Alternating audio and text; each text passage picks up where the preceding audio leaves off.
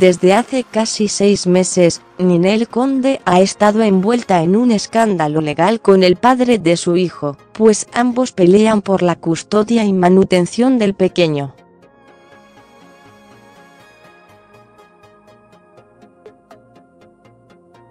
Ninel Conde ha confesado en varias ocasiones que esta etapa en su vida ha sido muy difícil y que está bastante cansada de todos los problemas que tiene con su expareja Giovanni Medina.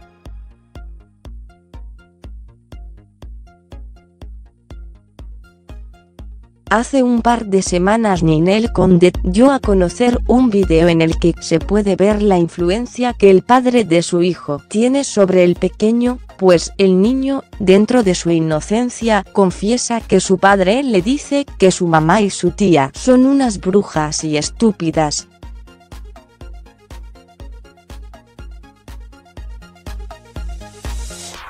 Incluso, a Ninel Conde se le acusó de abuso de drogas y tuvo que viajar a Los Ángeles a realizarse unos estudios para desmentir dicha acusación.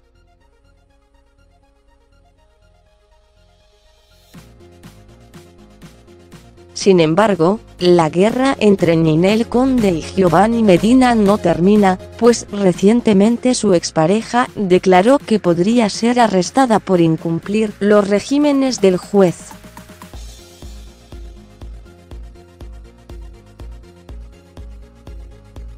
Aquí entramos en una parte muy importante, la señora Ninel ha estado violando las indicaciones del juzgado.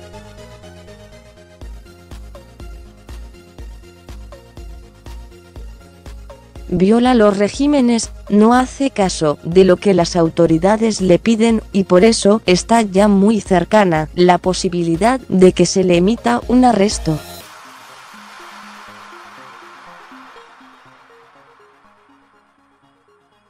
En una audiencia en los tribunales familiares de la Ciudad de México, Giovanni Medina explicó que este arresto podría ocurrir en los próximos días pero también dice que no es su intención que eso suceda.